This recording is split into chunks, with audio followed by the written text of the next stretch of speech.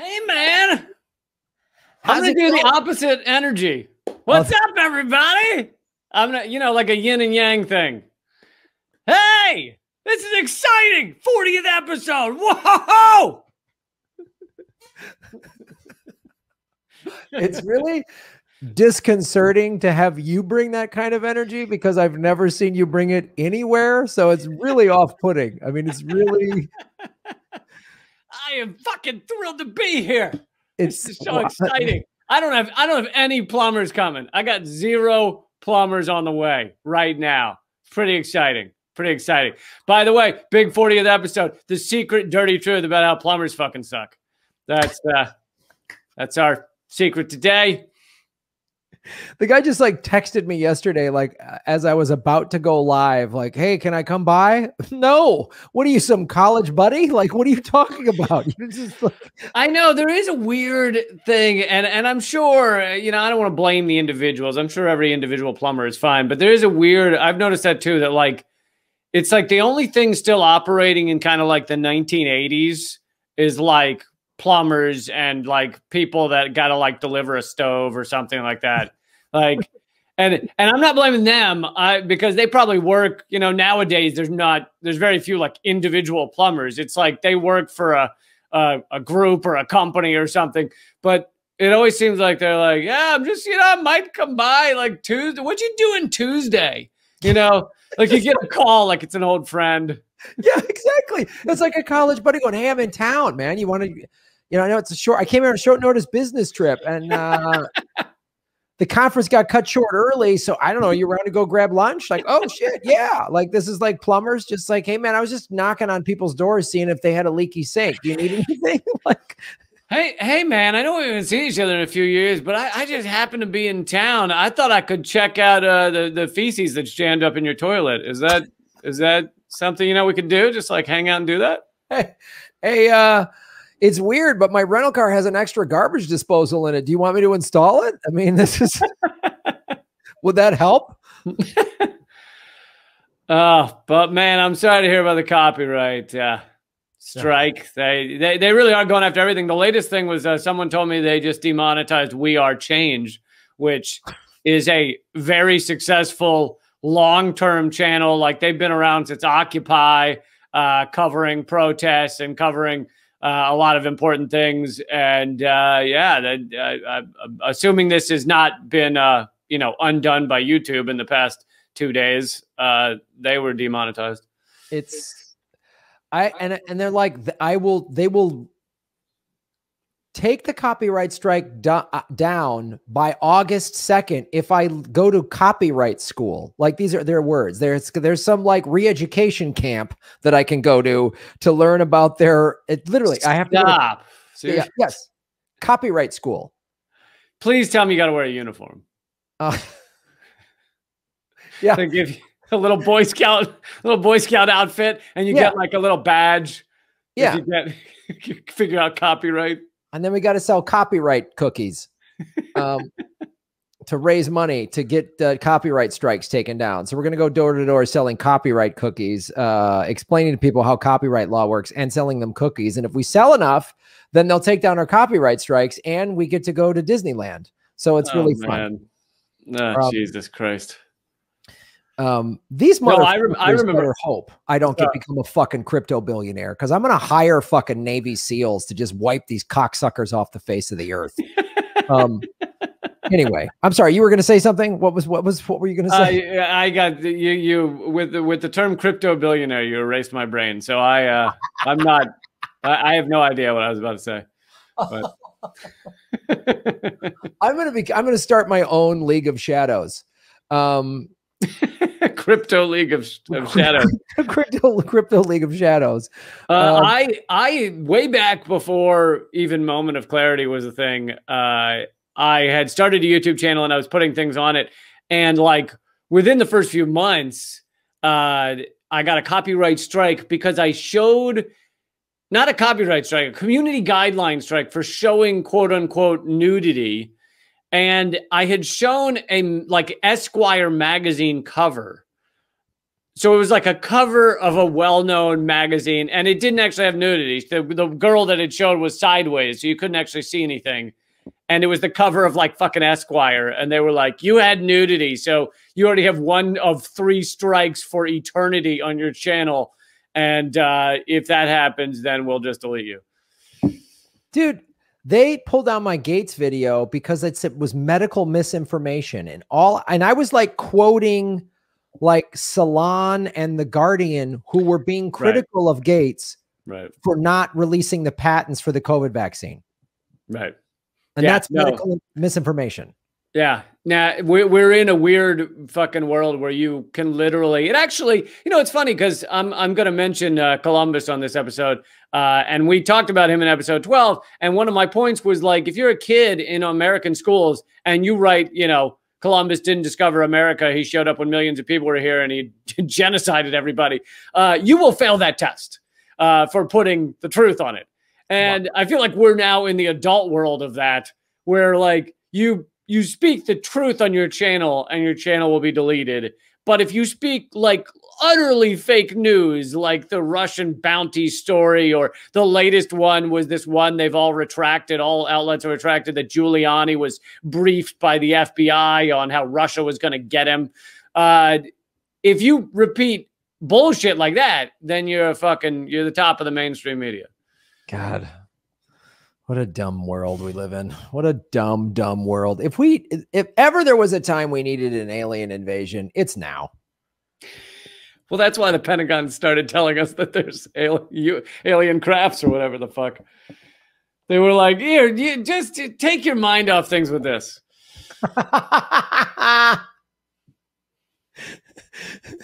or are they like, oh man, we know they're coming for us, so we're just going to kind of give people a little bit of a heads up by putting this this info out there because uh, there's nothing we can do about it. That's my thinking. They know we're done, and they're just like, "Yay, Elon, build that rocket." So we yeah, so we can build that rocket so we can put guns on it, so we can fight these motherfuckers. Uh, I think I should pause a moment and uh, do the the wonderful job we always do of letting people know what's coming up in this episode. Uh, we are going to dig into the the truth that you're not allowed to know in schools, at least American schools, about Ferdinand Magellan. Uh, really kind of mind blowing shit about him, and we're going to dig into some of the truth about the death penalty that your government doesn't really want you to know. Um, and we have an update on uh, a, this is the second week in a row we have an like an update came out the day after we taped on a topic that we didn't even realize was coming. This is an update on uh, May Day, which we talked about uh, last week. May first is is it became it was International Workers Day, then it became Law Day by Eisenhower, and then this week it's something new. It's Loyalty Day. Biden just declared it Loyalty Day. And I'm like, what the fuck? Like loyalty to what? Like a fucking flag, a little piece of fabric that you like the colors of? Or is it the military? You gotta show loyalty to your military. Or is it loyalty to like a certain like fistful of dirt that happens to be between two lines we made up? Look, this dirt, I'm loyal to this dirt. Like, what are you fucking loyal to? So you didn't have a loyalty day barbecue? Is that what you're saying? You, you didn't you didn't get uh, American flag wrap bacon hot dogs and celebrate your loyalty? Um, that's weird. Wow. I mean, I, I did, but then I'm just being loyal to delicious. Okay. My loyalty is too delicious, even though I don't eat meat, but loyal to, uh, to I'm faking raped, faking, did I say raped? Faking yeah. wrapped, uh, uh, faking sausage, fake. um, uh, Loyalty Day is such great um like it's like butterscotch pudding for um the brunch crowd to eat and not realize that Joe Biden is also a fascist.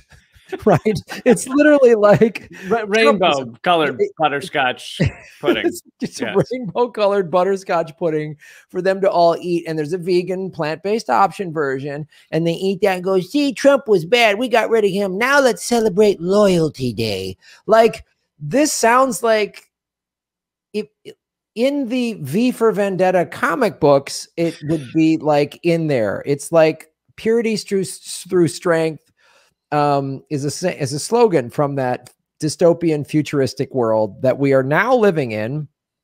Um, but maybe that's why I keep getting copyright strikes and demonetization. Is I just I'm not loyal enough to. Oh, you're terribly disloyal. I am terrible. Uh, you're you're the worst. But yeah, no, I think comic book is accurate. I mean, we live in like a comic book reality in general. Yeah, for sure. Um, but so welcome to Government Secrets episode 40 May Day update loyalty day.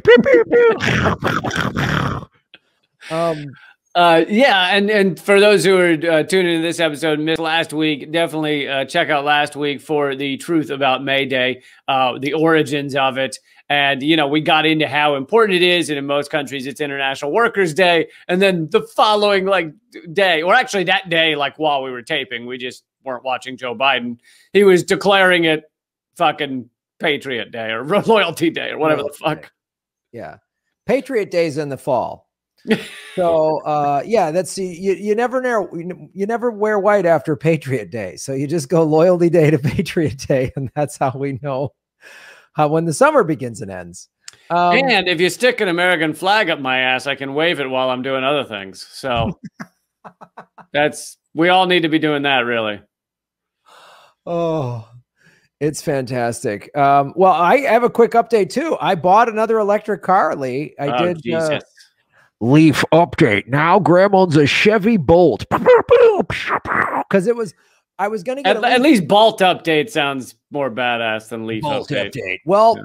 it's a Chevy, so it's an American car. I was going to buy a Nissan Leaf, but I was like, boy, on loyalty day, I better get an American. so I, I celebrated, I celebrated loyalty day by buying a Chevy Bolt. So I'm excited. This car's got almost a 300 mile range. Apple CarPlay. It's a fantastic automobile. And I does it have enough ra- range that you can drive into the ocean when it's time? When it's time to do that, I just need just enough to get up speed, go off and just go off a ramp into the ocean.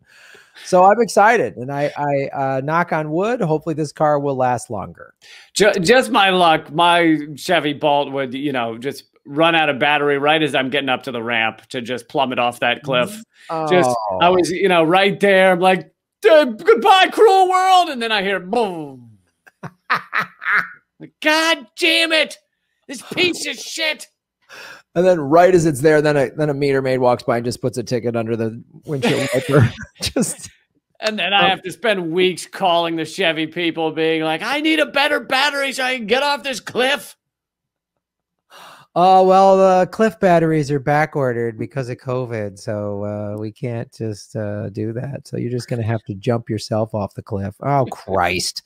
of course I do, but there's a copay and a deductible when you kill yourself off a cliff. Without oh yeah, no, you you got to take the car off the cliff. listen, I'm gonna listen. I'm gonna go out in style. I'm gonna go out surrounded by cup holders. Okay, surrounded by the new car smell uh, I want to go out in class. I'm not. I'm not fucking just walking off a cliff. Well, as we get into our segments now, we've we've uh, someone has offered to help, and we have fancy slides and stuff like that. Which um, Graham looks thrilled about. Graham's like, oh, motherfucker's always offering to help. I can't. Kate always showing up, offering to manage things. Now I got to read stuff and I got to click on more things. It's just like, come on, man. like, it's just there's all these emails to read. I'm like, oh, I just prefer to just. I'll I'll show you what I what I did. I literally just put in. I love, um, I love how put out Graham is by someone helping. It's just like, and the plumber's gonna come here and he's gonna do things, and it's just like, ah, oh, God, I can't. I gotta open the door for you. Jesus, what am I, Job? This fucking, ah, oh, this is the worst. What am I, Job? I can't. I really, I'm so. I just like things kind of. I guess I've been living alone too long, and I just like it's like it's like somebody going, "Hey, I'll come and organize your apartment." No, you're gonna. No. I, won't know where it is. Then then you're gonna ask me like, "Hey, do you have any more containers?" I'm like, "I don't know." Ah, God. I can't watch baseball highlights when you're asking me these questions. Um, so, um, yeah, I'm, I'm so put out. You said, you said, we were talking to this. You're like, well, I usually spend about an hour prepping for the show, and Graham usually does 15 minutes, which was like the most accurate appraisal of, of what I do. And so, literally, I'm getting on to minute 18, 19, 20, and I'm just like, this is murder. this is this is like doing taxes. I can't. I just, what do you want me to do? Clean out your rain gutters next? this is a disaster. Like I can't do this. I, I, I, I, uh, like. I think I've said this before, but I like when Graham shows up with wet hair. Like he's just he like the like you can still tell the surfboard's in the corner of the room. He's like, I had to click record. I had to. uh It's like I get out of the water and check my phone, and there's a text from Lee going, "What do you want to talk about today?" And I'm like, "Oh shit! Um, oh yeah, I better go home and shower, find something that's literally." That's all I want to do. Lee, the, the fate of, of truth and democracy shouldn't rest on the shoulders of like five comedians and a couple of like soccer moms. Like I agree. Why is this on our shoulders? Why I, I fucking agree, man. It's like you ever notice when people put out because now we've added uh, Katie Halper, who was uh, I don't know if she still does stand up, but she was doing stand up when I knew her years ago in New mm-hmm. York. We would do stand up together. So now we've added her to the list. So it's like it's like whenever people are like, "Here's the legit media," and they tag everyone, and it's like. it's like you got me, Graham, J- uh, Jimmy, uh, Ron Placone, Katie Halper. I'm like, this is two thirds a list of comedians. Why? Like, what? The, this is like you know, like Steph Zamorano, and then they're like, and Glenn Greenwald. I'm like, I should not be on the same list with Glenn Greenwald and Chris Hedges. I am sorry. I sh- I, I, don't. It's like, like Max Max uh, Blumenthal, Aaron Mate, and then seven comedians, and then like, and then Chris, and then Chris Hedges, and we're like, this is why. No, no like Whitney Webb and then me, Whitney Webb, who just comes on my show and has so much information. And I'm just like, uh, yeah, um, I read, I, I like this is beyond, I, I feel like, you know, like, and all the, and all the cool stuff I've been involved with, like the Assange stuff. And I'm like, Oh, Graham, you yeah, and like Suzie Dawson, these these people have put their lives on the line and sacrificed. And hey, Graham, do you want to talk to Bill Binney? What? I don't deserve to talk to a cryptographer from the end. Like, what am I? What are we gonna? What do I gonna talk to him about? The time I hosted game shows? What the? Fuck I, I feel the same way. I, you know, for a long time, I, I largely didn't ask like the people I respected most to like be on my my because I have I have redacted tonight, but I have an interview show redacted VIP as well. And I like wouldn't ask them to be on because I was like, you shouldn't want to talk to me. You really shouldn't. I mean, and you know, like like John Perkins, Confessions of an Economic Hitman is coming on the show, and I'm like, but why? Why? I don't. I know we. I know we asked you to come on, and I know you said yes, but I don't get why this is happening. it's like. I remember meeting Dr. Jill Stein, and she's like, "Wow, you're a truth telling hero." I go, "You were locked up for just wanting to be in a debate. Like, what am I? What? What?" Uh, I mean, you're better than me. You're better than like you're a better person than I am. Like I don't. Like, Graham's like, I thought I was doing everything right when I was hosting a strip poker reality show, and it's like, I. it's like, why? How did I end up here? What happened? Why is this like? Oh, great! And then, oh man, it's. Oh. All right. Well, let's get into our first segment of government secrets. I got into being a comic because I didn't want I, I didn't want to have a real job. No, like, I know, I know. Right? Like I, I told my mom I'm gonna in high school, I said I'm gonna have a job where I don't have to wear a suit. And I said, and I've never like these nice shirts with stripes on them and little pockets that I got at Ross. Like, this is the most dressed up I want to get. Like, this is me taking the show seriously as I stopped wearing superhero t-shirts and was like, Graham, it's time to like, now listen, now it's time. Okay.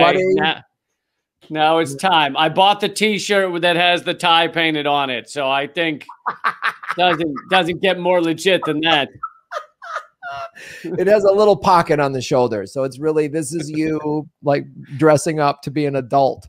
Like I still feel like I'm wearing like my older brother's hand-me-down suit on picture day that's just a little ill-fitting. Like that's how I, I feel. I slowly gave in to wearing not to anyone in particular, just to my own ideas, but uh when I started redacted, I I was always I like I always wore vests and like button shirts on like for stand up and stuff. I never wore blazers anywhere. I felt uncomfortable in them. But then we were like a year in redacted and I put on blazer for like one show.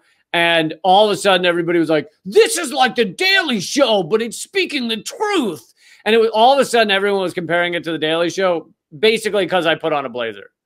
and I was like, all right, if you guys really need a blazer, if that's like something that's really important to you, then I remember one of the last times I was on TYT, the last month we were doing a, you know, Jimmy had said he wasn't going to do it anymore, but he hadn't announced it. So they were like rotating in people to do aggressive progressives, and Ron and I would do it, and Malcolm Fleischer and, and a couple other people.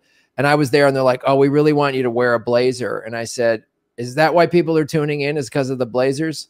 And I said it in front of like some head people at TYT, and they all kind of looked at me, and I was like, yeah, I'm a comic. I think this is bullshit. So, um, yeah, yeah. I even though I was never at on internal meetings or anything, but I remember I was on with Jan. Whenever I would come out to LA, I'd go on Young Turks, and so I was on on with him once for something, and and I had that like I didn't disagree with what the Young Turks were doing, but I found a lot of it to be fluff, and so we're in the middle of like this fluff story and I was like, what the fuck are we talking about? I didn't say fuck, but what the hell are we talking about? The world's on fire. Like literally the all of the wildlife is dying and weird you know uh, the mainstream media is talking about what what are we talking about and and jake was like i know and then he goes back to the story like like i know. And yeah. fucking brings it back to the story. And then they ended up using rather than being i thought that might make them like think like yeah you know we are covering a bit too much fluff. This is these are kind of meaningless stories. Rather than doing that they use that clip of me yelling that in like promos going forward. What? Oh god. I just i don't there's no really it's down to us there's literally seven comedians and uh some like soccer moms forced into activism, and the, we're the ones that were that got to save the world. Um, yeah. So uh, and and uh, reveal uh, the the true government secrets. the true government secrets. So, um, we had a big meeting about not doing this on air, but who wants to go first? Well, we have a slideshow. So oh, the slideshow is set up to tell Graham, what did you go first? And by the way, uh, I think I can share my screen, so we'll try that later. Oh, okay. Fantastic. So I don't know that we've ever talked about um, uh, the death penalty on this show, but um, one of the things that the this country likes to do is kill people, mm. and, and um, so now there's new DNA information emerges in the Lendell Ledell Lee case four years after he was executed. So if we go to the next slide, um, uh, this was in the Arkansas Democrat Gazette or something. That sounds like, like a bunch of fake newspapers, but we're going to take it as a legit source. Um, yeah, like- the idea that there would be an Arkansas Democrat. I mean, the closest they get is Bill Clinton. So I know. It's like the Arkansas Democrat Gazette. Like, come on, man. You just I think it's the Arkansas Democrat Gazette Times Herald. I think is uh, what it is. Doesn't it sound like a fake newspaper? A little bit, a little bit. Like in a comic book. All right. So in this comic book newspaper, it said four years after the execution of an of an inmate convicted of murdering his Jacksonville neighbor in 1993, new DNA evidence has emerged revealing genetic material and fingerprints from an unknown male, according to a report released Friday from the Innocence Project and the ACLU. Lendell Lee maintained his innocence until he was executed April 20th, 2017, for the murder of Deborah Reese. Lee was convicted in 1995. Nice of them to uh, get around to testing this four years later. You don't want to test it before the guy could potentially, an innocent person could get murdered. You know what I mean? That's just something like there's a backlog. I get it. You know what I mean? Science labs are backed up. Um, well, yeah, I'm sure the guys in the labs are like, look, I okay, he's gonna be executed soon. That's not gonna make me do this any faster. We have that scheduled for four years from now. yes, and I doubt, and we're gonna find out here is like it's not like a judge could have ordered this test to happen before the execution date, and it's weird. This the South kind of moved slowly and didn't care that an innocent black man was killed. Like that's weird. Yeah, um, it wasn't. It wasn't on their priority list. No, no, they don't have a history of those that for 200 years. So, um, the next slide, uh, DNA testing of evidence from the crime scene, including the murder weapon and a bloody shirt, revealed the profile of an unknown male.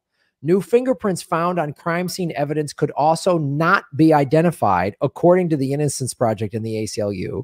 The DNA and fingerprint profiles have been entered into a national database, but so far no matches have been identified. So that's clearly not him. Yeah, I'm not a lawyer, but feels like that's a pretty bold case for some uh, reasonable doubt. yeah, yeah, slightly just just a touch.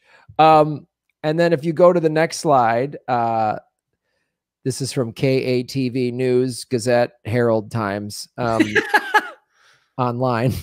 Um, Lee was the first of four inmates executed in April 2017 before its supply of lethal injection drug, the lethal injection drug expired, which they're like, oh, hey, these are going to go bad. We might as well use them. Is that what the hell they did in Arkansas? Like, well, well, but it gets even crazier than that. Multiple, so the drugs they were using uh, nationwide, not just Arkansas, were using for lethal injection, stopped being made by the pharmaceutical companies in other countries, be, or or stopped being shipped to the United States because they realized they were using them to kill people. So other countries were like, we're not going to fucking help you kill people. So they cut off the supply. And then the, so, so lots of states couldn't execute people because they didn't have this specific kind of chemical. One of them, I can't remember which, maybe Oklahoma, like tried a new cocktail and it was fucking awful. It was like the guy said his skin was on fire for like a half an hour before he finally died.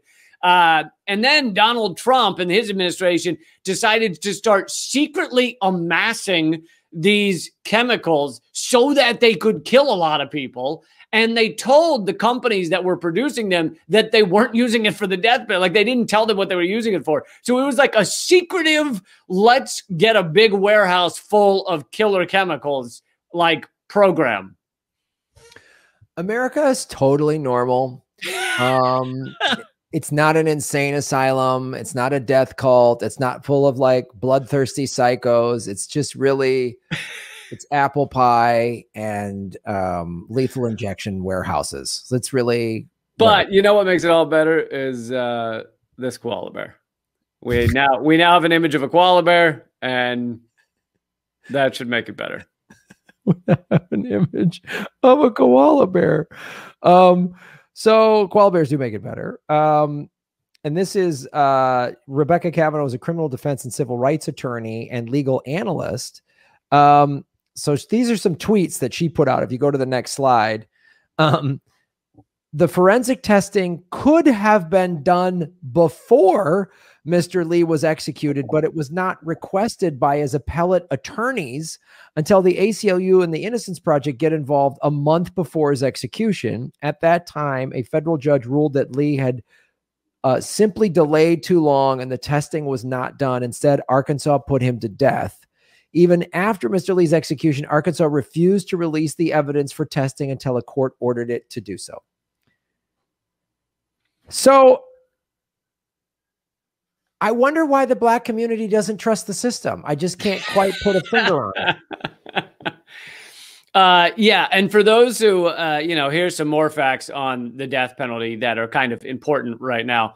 Uh, the number one cause, you know, because some people are probably like, "What? White people are executed too," but the number one cause of uh, death penalty of those who get executed, uh, the number one determinant. Sorry, the number one determinant.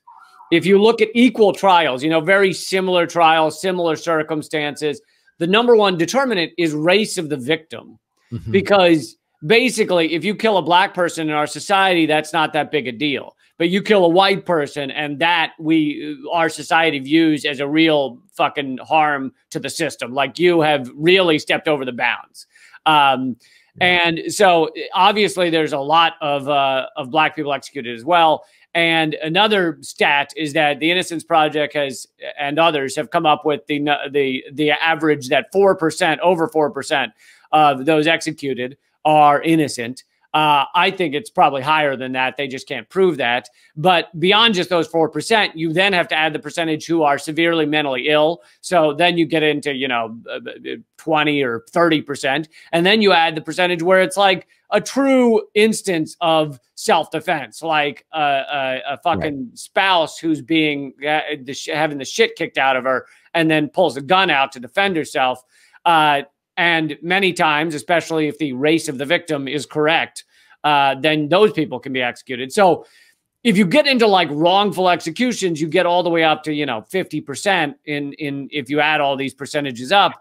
Um, and it's just, it's a disgusting practice. Most countries don't even have it anymore. Uh, it's, I mean, it's just so repulsive. Honestly, it goes back to such a barbarian time where we were fucking half animal, you know, half fucking monkey, and we thought the answer was to kill these people. Uh, and it, it's just disgusting that the United States ever does it. Yeah, it's really it's like barbaric. It's like uh, is this like medieval time? I mean, like uh, it's that we're still doing this, and not and now that we have DNA evidence, like we have this science at our at our disposal now, and and it's like that should be exercised to the fullest, and and like the you know, it's just it's can it's more just American lip service of like it's better to put 10 guilty men free than kill one innocent man. Like we don't give a shit, especially if you're black, if you're a person of color. And not only that, I mean, this is I mean, this ties into a couple episodes ago where you were talking about the history of of violent cops and all the statistics we've brought up. They've killed roughly a thousand people a year for the last 15 years, and there's only been like seven convictions or whatever that number was. I forget you brought up. Three for murder. Yeah. Three. That's right. Three out of 15,000. That's fair. And, um, and then, I mean, but this just extends across America. So you talk about like, um, I, have done stories on this on my show, Political Vigilante, about murdered and missing Indigenous women. There's this inordinate number yeah. of Indigenous women that just disappear or get murdered. And there's these awful loopholes where um, if it happens on a reservation, if a non-native is suspected of a crime committed on a reservation, the reserva- the, in, the, tribal police can't investigate it, and they have to get the FBI. In a lot of cases, there's like in, in like the Dakotas or something where there's a lot of Native American reservations. There's like one FBI agent for like the whole state or something crazy like that. So there's this even the cases where there's like they have a suspect there's this backlog and they don't even investigate it. That's not even counting the thousands of just women who disappear and nobody knows who they are. And it's like if one suburban white girl goes missing, everything gets shut down. I mean, like it, yeah. it's like uh, yeah. everything. I mean, and so uh, it's like it, just extends. It's so it's not just the death penalty; it's the murdered and dis, murdered, murdered and missing Indigenous women. It's police brutality. It's just across the board. I used to. The media doesn't seem to do this as much now, but like 10 years ago, it was just like common practice for them to find a missing white girl and just 24 7 coverage. Yes. And it was always a missing little white kid, either boy or girl. And it was never a black kid, never a black girl, uh, or or indigenous or anything other than white. the idea of a white little child going missing was like horrifying to our mainstream media. And it was like 24 7 fucking drum beat, all of America flipping out. Where is Elizabeth Smart? Oh my God. Mm-hmm. And it's mm-hmm. not like I want Elizabeth Smart to be kidnapped, but it was like that was all. It was never anything other than a white kid. And, you know, I used to have a joke about apparently black kids, you know, never fall for the shit from the guy in the unmarked van. When he offers them a lollipop, they're like, fuck you, motherfucker. Whereas right. the other the white kids are like, sure, lollipop, I'll get in the van. Yeah. Um, well, but but but yeah, it's it's it, there's an incredible racial aspect. And and by the way, I just want to mention there's a pretty good movie uh, like Hollywood picture about about this uh, you know murdered uh, murdered indigenous woman. Uh, it stars I don't remember the name of the movie. It stars uh, Wind Wind River, uh, Jeremy Renner. Yeah, yeah, Black Hawk or Arrow Man or whatever his name is. Yeah, yeah, yeah. Avenger dude. Hawkeye. Yeah. Hawkeye. Hawkeye. Yeah, yeah, yeah. It's worth. Uh, it's with the Jeremy Renner and um one of the Olsen girls. I forget uh, Ashley Olsen or something like that. But it was directed by Jim Sheridan, I think. It's called Wind River, and it was the first I learned about this. This uh, it came out about four years ago, maybe. Um, and I I was not aware uh, that this was an issue until that mainstream Hollywood movie came out. Uh, and then so so it's it's pretty brutal. Uh, and again, you know, I don't begrudge somebody like Elizabeth Smart's parents for you know banging the drum to get the news out, but you, you say it's just it's just so inordinate. You know, like I, I did a story like a year or so ago in uh, January of 2020 before I was up in Portland before the shutdown, um, and this girl went missing in Utah, and the police and it was on CNN, and the FBI was involved, and all this stuff. And I think they maybe found the girl or whatever but it was such an example of like I don't begrudge that girl's family, but it's so out of whack because look, an, uh, uh, an indigenous woman's family, uh, a, a, black person's family, they're they're just as flipped out and just as panicked and want just as much done for their yeah. child, but the system doesn't care. Yeah, you know, and yeah. it's really unfortunate. And I don't begrudge any any family who gets this kind of coverage, but we have a broken system with our media and our law enforcement that are just like, oh Right. That, that, that, that's absolutely another factor of it that that we haven't or in, uh, mentioned uh, is that a lot of times that black families come to the cops and say, you know, a kid's missing, and the cops either don't care at all or care a far lesser degree than JonBenét Ramsey's missing. Right. Uh, and and uh, uh, another example, uh, both not white and gay so the cops really didn't care, was uh, one of uh, Jeffrey Dahmer's victims uh, escaped and ran to the police station. And I, I, think he was either, you know, maybe naked or near naked and said he was being attacked by this guy. And uh, they, and you know, uh, it was clear what either he said it or it was just clear by his uh, the fact that he was nearly naked that that this was two gay guys. You know, I'm being attacked by this guy, and uh, he didn't. And I think he spoke broken English as well. And the cops were just like, "Oh, whatever, fucking, you know, gay guys doing their gay thing." And yeah. this, you know, also the guy's not white. And so they just ignore it. And uh, he ends up getting recaptured by Dahmer and, of course, killed.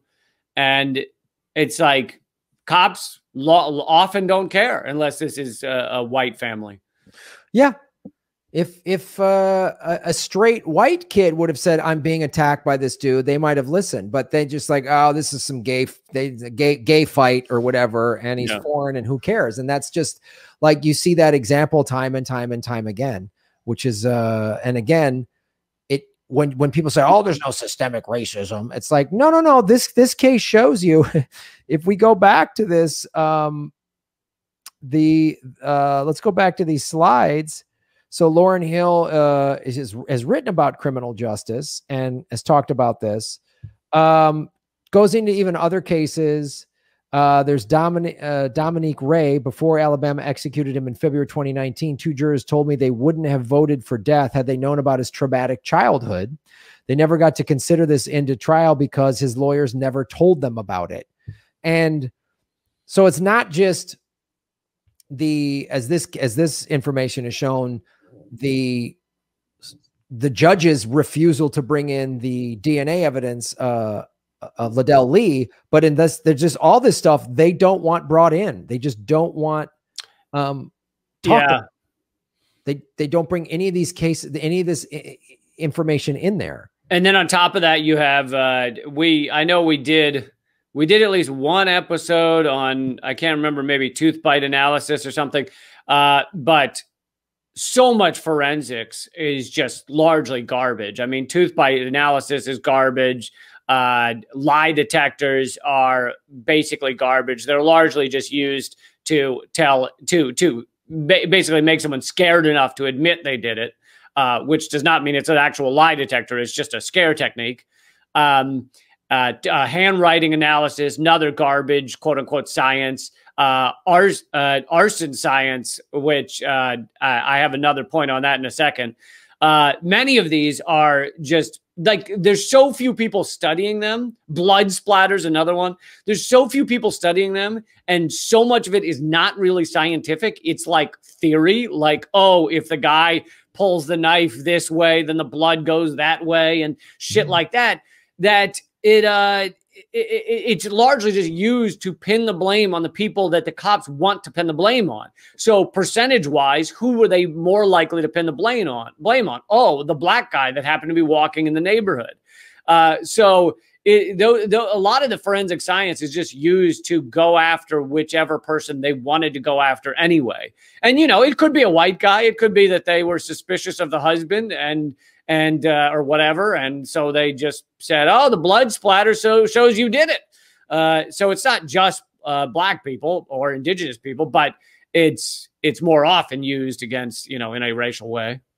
You know, it's it, it is used in a racial way, but but as this Lauren Gill um, puts up there, and if you go to the the next slide, um, she the, the, she talks about Missouri executed Russell Bucklew in October last year after years of challenges to lethal injection. In 2018, the doctor who diagnosed Bucklew with antisocial personality disorder, which his attorneys say swayed the jury to vote for death, admitted he was wrong. so it's like they're, they, she's what, what Lauren Gill is pointing out is all the ways that um so not only is it is it stacked uh by race but then they're just they're executing people for for just faulty evidence um and then they didn't introduce that this guy was was abused as a child. Not that oh they what you know it doesn't and some people always say well he what he gets the right to just to kill people? No that's not what they're saying but lethal injection is not a, they've proven it's not even a deterrent. It's not like yeah. at all. it, yeah it, if you like if someone wants to ever wants to debate me on the death penalty it's like every the argument for why the death penalty exists is bullshit. There is not a, I've never heard a single argument for why the death penalty should be used. It's studies show it's not a deterrent, which makes sense because usually if you're getting ready to kill someone, you either think you're going to get away away with it or you're out of your mind angry and not thinking about, oh, maybe fucking 20 years from now I'll be executed. So it's not a deterrent. It doesn't actually save the state money, which would be a ridiculous reason to kill people anyway, but people think it saves money of imprisoning people, uh, you know, compared to imprisoning people, but uh, it doesn't because the number of like uh, uh legal appeals and court mandated lawyers, uh, it usually does not save the state money. Um, and then people usually come down to like closure. But first of all, there's an equal number of families who are like, we don't want this guy executed. It's not going to make us feel better. We'd rather him sit in prison. Some say, oh, it's an easy way out. We'd rather him sit in prison uh, and think about what he did. But so there's many families that don't want execution. But and and then they, you know, people say like, oh, it, it feels good, you know, an eye for an eye. But an eye for an eye is not the fucking law of this land. It's not even an eye for an eye is not the law of the land, even for someone who steals an eye. Like if you knock someone's eye out, they don't sentence you to have your eye knocked out. Uh, so an eye for an eye doesn't exist. I mean, it might feel good. It might feel good to see a rapist raped, but we don't sentence them to that. Uh, it might feel good to see a, a, a, dude that killed someone, you know, because he set a fire, like set on, like his house burned down. But we don't, that's not how the fucking legal system works. The only way, the only place out of our entire legal system where we do a quote unquote eye for an eye is executing people where we get it wrong all the time. Yeah. That's such a great point. You don't like, oh, you were determined at fault for this car accident.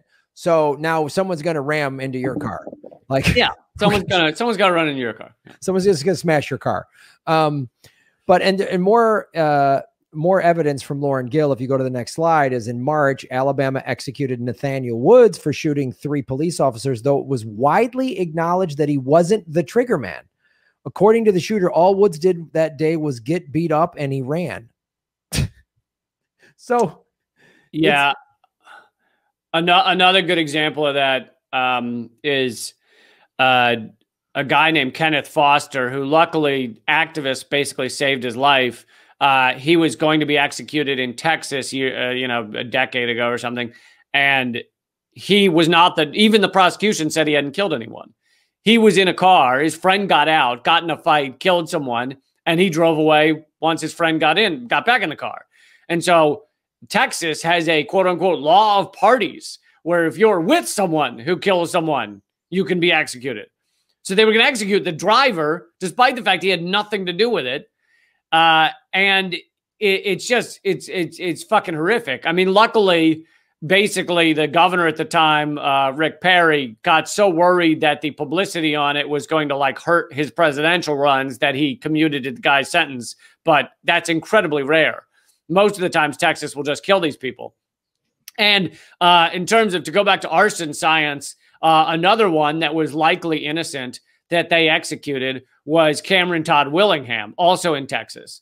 Uh, this guy was uh, he was in a mobile home with his three daughters, and the mobile home catches fire, and he tries to save uh, tries to save them, but it gets too hot, and he runs outside and calls the fire department, and the RV or whatever the trailer burns down, killing all three, and they executed him for setting the fire and killing his daughters. Now, it's almost certain, yes, there's always a possibility, but it's almost certain that he didn't set that fire. Uh, an arson ex, quote unquote expert at the time said, Oh, yeah, we know he set the fire because uh, we found uh, uh whatever they're called, you know, flame uh, lighter fluid uh, by the doorway, remnants of lighter fluid by the doorway to the thing. But what they didn't present in the trial is that's where they kept their barbecue grill and their lighter fluid. Uh, so likely it just all burned in the fire, exploding the lighter fluid at the front door. Um, and, and like the, these quote unquote arson scientists, uh, it's, it's just bullshit. It's basically they go with what they think the cops want them to do. Oh, the cops have pinned it on this guy. So yeah, it was this guy. We can tell that the the RV, you know, or the trailer uh, lit on fire by a human being. Like but it it it other arsonists, uh, not arsonists, other arson quote unquote scientists or experts have said that's absolutely not true. So, you know, add that to the list of innocent people executed.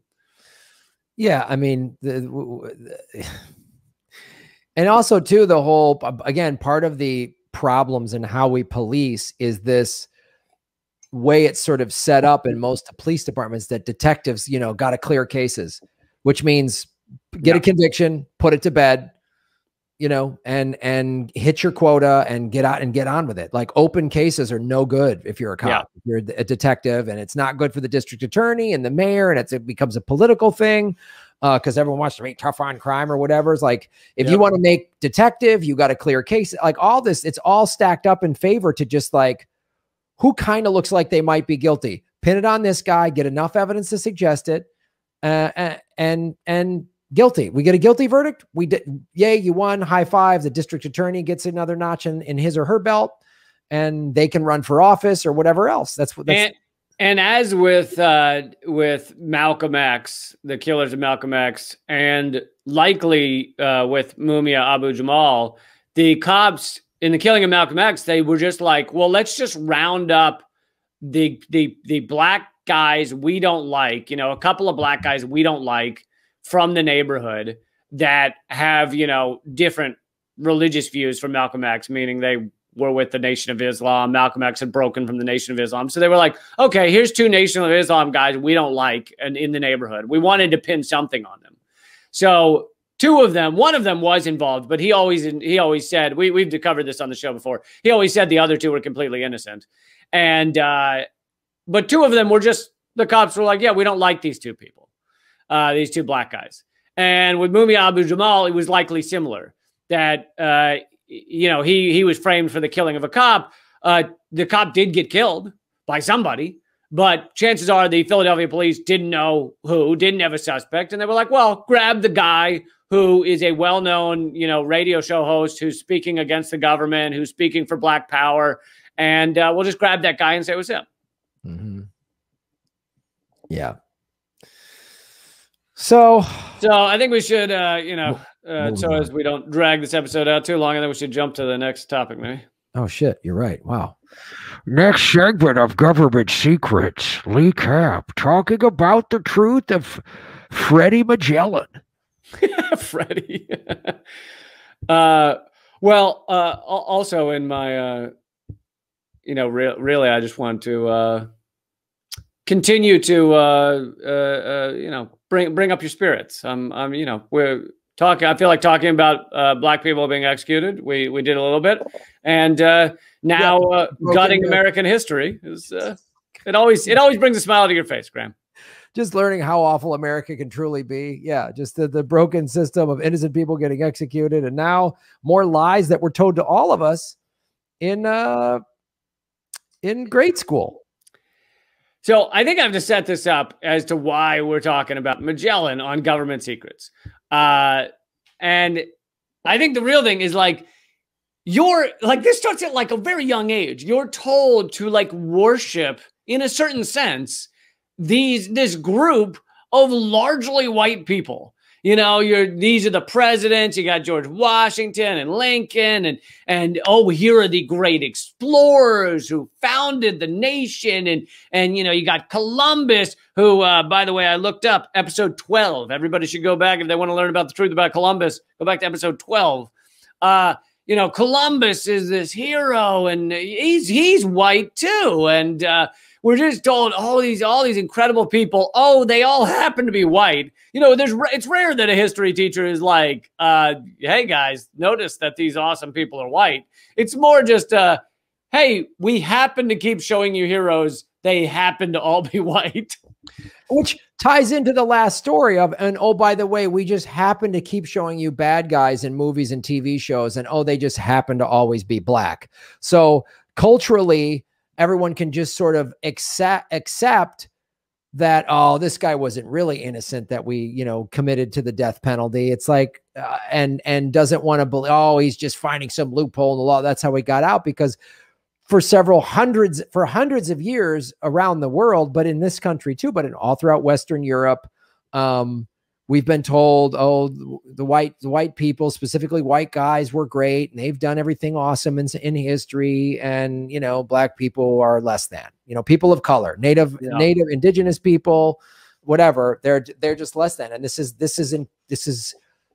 I mean, I would, I would, I, I, I, I submit, and and I'm sure you do too, that your story about, and what we're going to get into it, is tied into the first story. It that this helps yeah. create a narrative where jurors or judges or the legal system in general just go, mm, yeah, he's probably guilty, the black guy, you know? Yeah, yeah, no, it, it absolutely does. And, uh, and I, you know, I didn't think about it. This could be another episode of Government Secrets. Would be like, like Hollywood, you know, race in Hollywood. And I didn't really think about it as a kid. Of course, you don't. But you grow up, you know, worshiping various uh, cartoons or, you know, whether it be Peter Pan or whatever else. And it never really occurred to me that, like, wow, every cartoon, every movie that's meant for kids, there's like no black heroes uh, for like black kids to put themselves in the role, to imagine themselves being. Like, if mm-hmm. you are going to imagine yourself being Superman as a kid or one of the other or Batman or it's just all white. And I get that I get that uh, Marvel, you know, tried to remedy that by, you know, in the late 90s introducing probably more black characters and so there are some now and I think there's been a black Spider-Man and stuff like that, but it it took a long time to even begin to remedy that. Uh, so it's like you just all of our heroes, everything you see as a kid, it's just all white, white, white, white. Well, growing up as a as a kid that collected comics in the 70s and the 80s, there were two black superheroes. Power Man and Black Panther. And I've never heard of Power Man. Power Man, um, he had a comic book, Power Man and Iron Fist. They actually Marvel made it into a series on Netflix. Um, that was really a, a, good series, but it was he was the only, and I I collected Power Man and Iron Fist, and uh, and those are the only two that I can think of that are like mainstream comic book titles. Uh, and a quick side note: Stan Lee made in the Marvel universe, Black Panther and Wakanda, the most powerful people in the whole Marvel universe, just as a fu to racists. Nah, nice, nice. Which is why when that movie came out and was so successful, and they released it in a February, which normally February is considered the dead zone for Hollywood releases, but it just is old dumb thinking from Hollywood. Right. Uh, it was the number. It was like number one in the box office for like six weeks um, when it when Black Panther came out and whatever that was 2014 2015 somewhere in there. Anyway, little nerd side note. little little nerd side note to your side note. Uh, I remember, and this will relate back to Black Panther, but I remember when I was a kid because I knew my mom's weaknesses. Uh, I saw that there were two black action figures for sale. I don't. I must have seen a commercial or something, and uh, I knew that I that if I uh, said to my mom like you know they they said there's, there's almost no black action figures or whatever, like like they say these uh, you know it's very rare or whatever and and so my mom bought the action figures for me um but they were still and I didn't think about this as a kid but I think about this now they were yes they were black action figures but they were black like Egyptian pharaohs and so still even as it's saying hey you know it's okay to be black it's still like, but the but still you should be looking up to the oligarchy. Like it's still the oligarchy. This happens to be a black oligarchy, but still the rich and the powerful are the rich and the powerful for a reason. So uh, mm-hmm. let's let's let's appreciate that. Uh, so there, and there's some of that in Black Panther too. It's still the still the oligarchy. Yeah, still the aristocracy of Wakanda. Right, right, right. All right, that was side note upon side note upon side note. But so to get on to uh, Magellan, uh, he is is held up as the guy that fucking first circumnavigated the world. That is the big thing. Oh my god, this awesome white guy, awesome white explorer, circumnavigated the world. Fucking incredible. Back then, 15, 19 or whatever, fucking huge, incredible. And honestly, until like a fucking year ago, I didn't know that he never circumnavigated the globe. like at all. At all. The dude never did it. All right. Just some rich dick that drove his rode a boat around a lake and went, let's just call it the world and put it on put it in writing and we'll, we'll who's going to argue with me? So his goal was to get to the Spice Islands, which are you know basically Indonesia. Uh, because spices were incredibly like you could you could retire on a bag of cloves. That's like not a joke. That's literal. If you got a bag of cloves back to Spain, you could fucking require re- retire. It was like the Bitcoin of the day. uh, and so he goes on, he sets off on to get to the East Indies, to get to modern day Indonesia in 1519.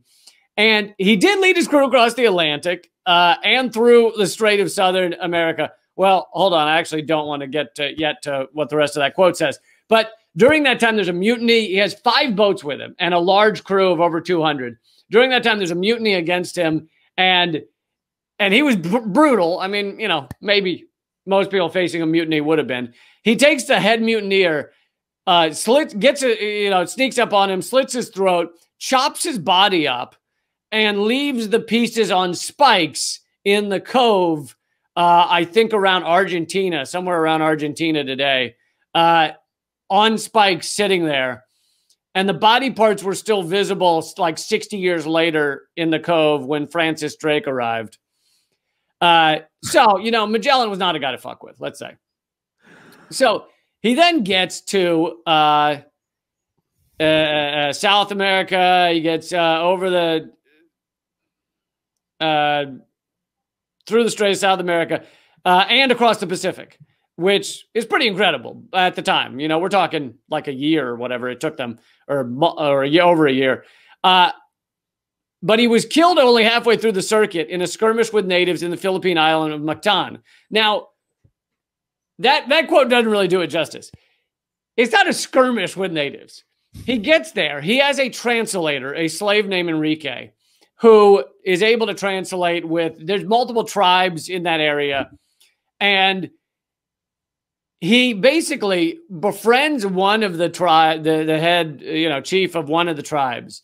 But he still ba- he he he becomes overcome. He no longer seems to want to get to the Spice Islands. He becomes overcome with being like a lord of these people because he has guns, he has cannons. They can't do anything to me. I'm I'm the big white fucking conqueror.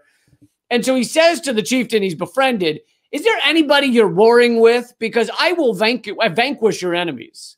Uh, I have our guns and our men. It doesn't matter how how many there are. We'll kill them for you. Just tell us which tribe you're you're warring with.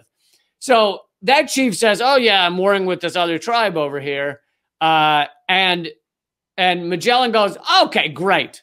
Just give us a minute. We're gonna go fucking brutalize, destroy, murder this whole other tribe for no other reason than we want to convert people to Christianity and we uh, want to show how powerful we are. Powerful we are. And also, I think he probably thought it would make a good story once he got back to, to Spain and Portugal. He'd be like, dude, I fucking wiped out a tribe with, you know, there were a thousand of them and 200 of us. Took me 10 minutes. Uh, so he goes over to this tribe and they, you know, they begin wiping people out, but he gets like hit with an arrow and he's like injured. And then the chief of that tribe comes over and, you know, accounts vary, but basically just fucking murders him in like hand to hand combat. Murders Magellan. Murders Magellan in or or sword to sword combat. Um, yeah, just fucking executes him. And so it didn't go as planned. so his I'm going to wipe out people in the name of Jesus uh, is actually going to get me killed. Yeah, um, yeah, yeah. And, and and for no reason. It wasn't like they got to that strait and uh, you know there was a strait and they had to get through and the tribe said absolutely not. And he said well i have to battle these people because it's the only way for us to survive and get through. It wasn't that. It was like him being like hey i like murdering people that aren't white. Uh, do you have any? And the tribe that that tribe was like yeah we got some over there we hate Oh, and I love that they did it in the name of Jesus. Like you remember that segment in the Bible where Jesus is like, just go murder some non-whites because you want to, uh, and do it in my name. You remember that? What was that? Was it Leviticus or which one? Which one was that? yeah, it was all in the name of Jesus. I mean, Jesus was a brutal motherfucker. Yeah. Uh, Jesus was like a hippie socialist who was like, You guys did what? Like, yeah, yeah. You guys exactly. did what in my name? What? exactly. So Magellan's death meant that he personally failed to circle the world. You don't say. But his expedition continued on without him. There was a fight between the boats, and one basically one of them actually, uh, one of his ships actually arrives back in Spain in 1522, having completed a successful circumnavigation of the globe. Of the mission's 260 original crewmen, only 18 had survived the perilous three-year journey. 18 out of 260. And by the way, the investors, and this this shows how you know capitalism, or at the very least, profit over all else matter, uh, you know, is matters. The investors viewed this as a success because they had the bags of cloves. like 18 out of 260 come back and they're like, well done. Wow. I don't care that 242 people are dead as long as those cloves made it. Sweet. Yeah. Boy, you got to love, you know, even the early early versions of capitalism were just fantastic. Like Yeah. They, they, they really were. You uh, name a societal ill. Name anyone and we could both trace it back to, to it's being caused mainly by capitalism. Absolutely. Absolutely. Without name one. Name name name anyone. Name name one. Like anyone. Like pollution. That's capitalism. Everyone was living off the land and in harmony before we had to just make products to do like uh, name one. The war, the environment, crime, domestic violence, name Ra- one. ra- racism you wouldn't have you wouldn't have anything near the level of racism that we have in this society if there wasn't immense inequality like you end up with racism with people fear for their security and that can be financial security it can be security for their family uh, it, it can be security in multiple ways but if you have equality and people don't feel for their fear for their security they don't think hey tomorrow I could not know how to pay for healthcare, then their anger and their disgust and their frustration and their fury is not able to be channeled towards let's get the black people. Oh yeah, dude. But it, it all traces back to shit like this four or five hundred years ago. Because look, look at look at five hundred. I mean, look, they went around the globe, got murdered people, tortured the natives. As long as they got their clothes, they didn't get like all of it. Gen, stealing of the Native American land was for money. Slavery was for money. Like uh, all of it. All, Columbus came here for money. Um, butchering natives. I mean, all of it was just like so we could have money, trade routes. I mean, this has been happening for centuries of just murdering people for money and creating racism. Well, we look, they have a, they have resources that we need. Well, we're a little more, we have more uh, weapons where we've, because we're so greedy and, and awful, we've created more efficient ways to murder so we can wipe these people out and take their land and their resources and their trade routes. Like capitalism is the worst. yeah. Yeah. I'd say so.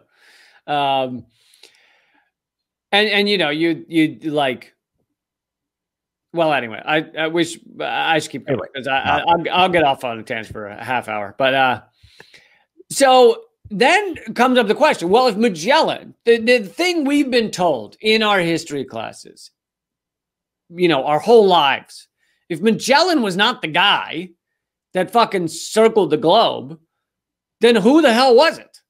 Who should we be looking up to as like, wow, that's the first guy to do it.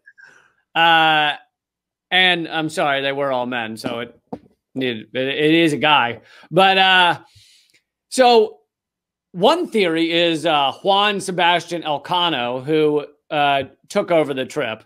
Uh, the most obvious candidate is Juan Sebastian Elcano, a Basque mariner who took control of the expedition after uh, Magellan's death in 1521 and captained its lone surviving vessel, the Victoria, on its journey back to Spain.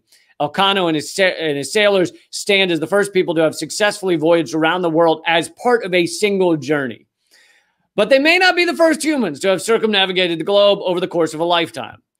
So, yes, they were the first to do it as a like sing, a single trip as a goal. Uh, and, you know, that's incredible because it's like, wow, we've been lied to our whole lives. And furthermore, Elcano actually, for the initial years after this trip, Elcano was viewed as Magellan is today.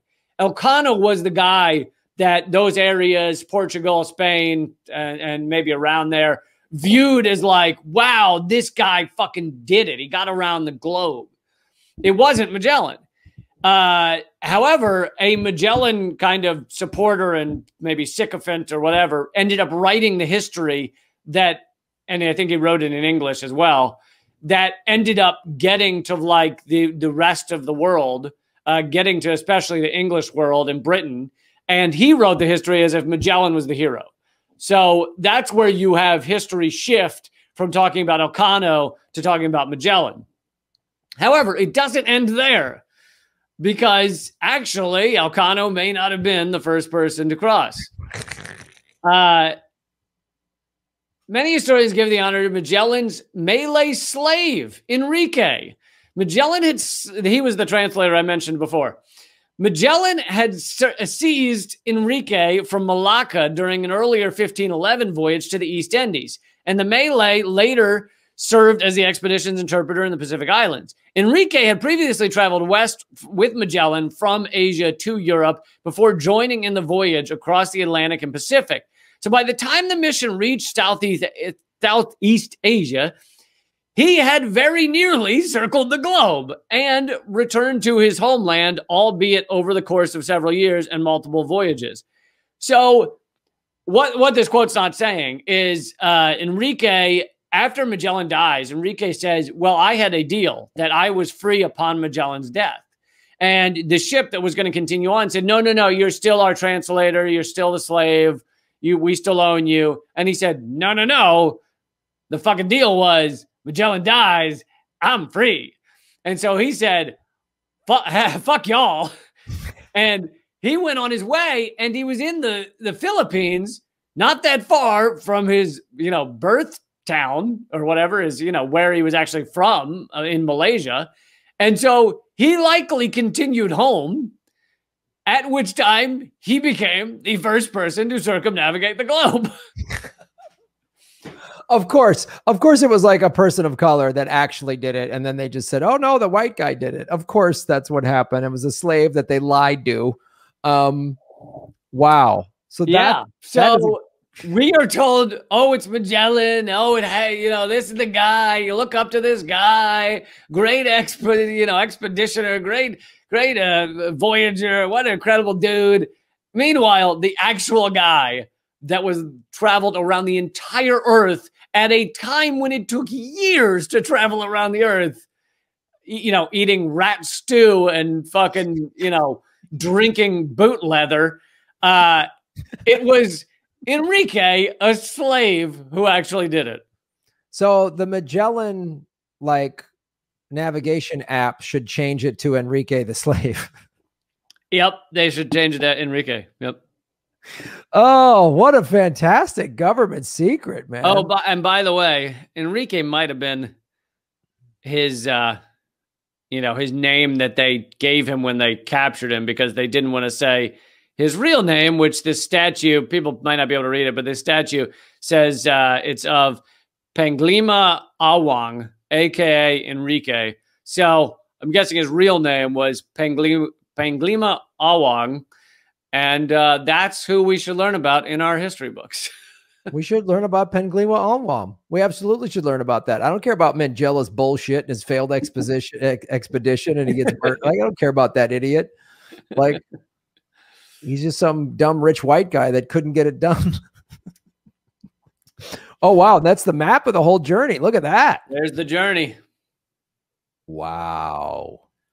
I mean, it is. I I was trying to picture it in my head, like it was when they. So so first of all, you have to imagine they get through the uh the Strait of Magellan. It's now called. It should be called the Strait of Panglima Agwang. Uh, the Strait of Magellan. They get through there, which was incredibly difficult. And already they've had like multiple mutinies. It's been like a catastrophe. It's taking longer than they expected. Oh, they're out of supplies as well because the uh, they were shortchanged on the supply when the boat were uh, the boats were filled with supplies. And then they get across there and they think that they're right next to the Spice Islands, like Malaysia and Philippines. So they venture out into what we now call the Pacific Ocean, thinking oh, any day now, we're going to see the Spice Islands, and this is all going to be great, and we're going to be filled with riches. And instead, it is 17 weeks of eating like rats and boot leather. Like and just octopus omelets or whatever they're having. Yeah, just just misery. Wow. Um, this was a fantastic government secret, just really historical Good. So, kids, thank you for watching. Magellan's a lie. Another thing you were told. Magellan's yep. a complete lie. yep. Well, Lee Camp, that is uh, that is a fantastic government secret. Magellan was a liar. Pang Wong, but Pang, what is it? Pagila, oh, shit. Paglima Awang. Paglima Awang, ladies and gentlemen, your new Magellan.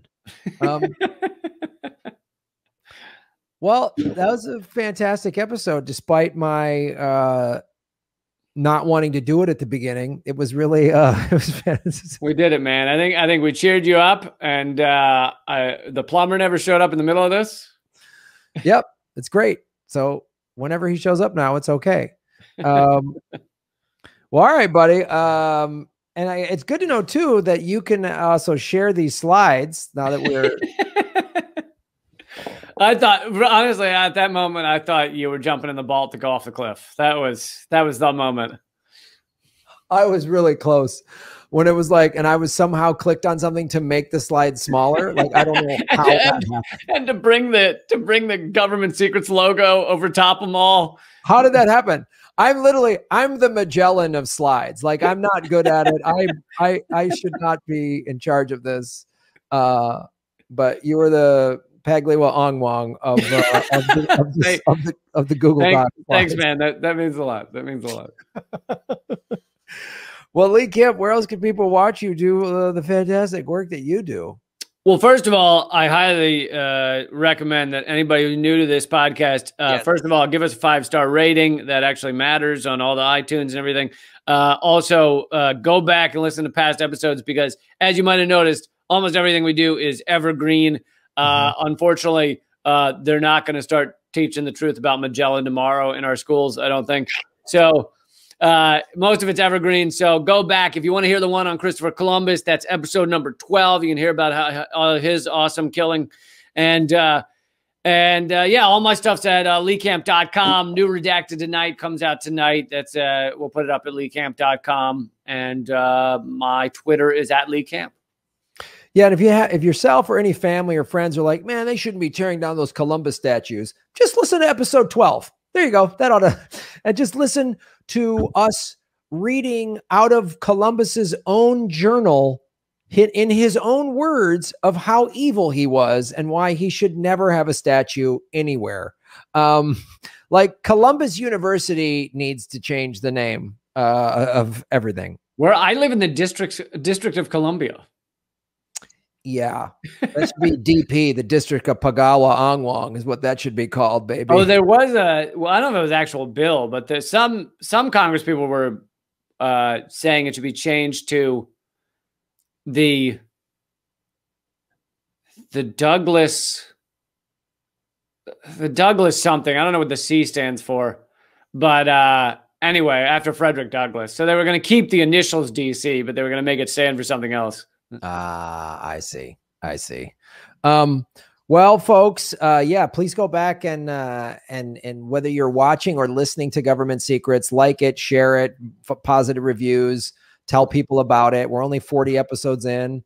Um, we haven't even been doing it for a year, which is pretty. It's it's it's a lot of fun to do, uh, except when I'm given more than 14 minutes of work, and um, it's. Uh, it's it's uh, Is it? Is it? Maybe you could get like a waterproof phone. You could work on reading things while you're on the surfboard. Actually, yeah, that's what surfing's all about. Getting work done on a multitasking. That's why you go surfing. It's like people that are like bringing an iPad on a hike. Um, Dude, I was on a hike. I- we were in the middle of fucking Shenandoah National Park. It's gorgeous. The trees are in bloom. There's just no, no, nothing but but waterfalls and fucking animals and shit. And coming up the trail, we start to hear like you know fucking Creed or something, like Nickelback. And then we passed two people, and the guy's got his phone out playing playing like Nickelback as he walks by us. I was on a hike yesterday and somebody was playing music, and I'm like, yeah, why would you want to listen to the birds and the wind and be completely submerged in nature when you can have some of your dumb Spotify list on your stupid, uh, whatever Amazon speaker that you've got ziplocked on your dumb hiking bag, you moron. like, anyway. So don't bring music on a hike. That's stupid. Anyway, um, moral of this moral of this episode. more of this episode. Magellan didn't do shit, and don't bring music on a hike. Um, Magellan didn't have his fucking Spotify that he was playing on his ship. no, he didn't. And if he did, maybe that's why they killed him. Was like, who wants music on this boat? Um, we want to eat boot le- shoe leather or whatever. Yeah, in peace. in peace. Uh, folks, check out my show, Political Vigilante. Uh, we stream four or five days a week. We got, uh, and then of course, uh, go to rokfin.com. Lee and I both have a lot of content on there. It's a great way to support what we're doing. I am way more dependent upon Rokfin now that YouTube has been, has demonetized me. We're in our third month coming up on, yeah, we've done three months of being demonetized. Fantastic. Um, so uh, go to grahamelwood.com. There's merchandise. There's all this great way to support me. And I have a new tour date. Uh, I will be uh, my first headline show in over a year at the Blue Note in Waikiki two shows Sunday, May 30th. So uh, Wait, what- what's the date? uh, Sunday, May 30th. It is Memorial Day weekend. So come Nice, on out man. to Oahu, Lee. And um, Do you feel like you're going to be rusty? oh god, yeah, I did a set just a, like a 15 minute set um, Wednesday night, and I was like, oh, jeez, I was, I was like, and it was plexiglass, and you know they check your check your temperature, and all the comics had been vaccinated and everything. So, but I, man, I did this bit I haven't done, and I did it like in the wrong order and forgot Right, something. I was like, wow. Right. So I'm gonna be getting on stage like one at least once or twice a week for the next month to make sure I got my shit together for May 30th. Right. But yeah, go to grahamelwood.com if you live in Hawaii or want to come out and visit. Uh, come check that show out. And Ron Placone and I are going to be starting to announce tour dates in September and October, probably in the next month or so. We're starting to get holds from comedy clubs and stuff. So check all that out at grahamelwood.com. Thanks, man.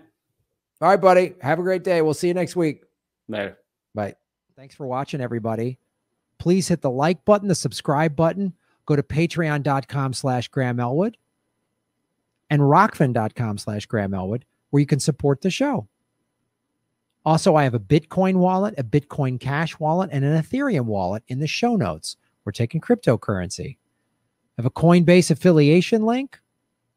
We're going to be getting on some other exchanges.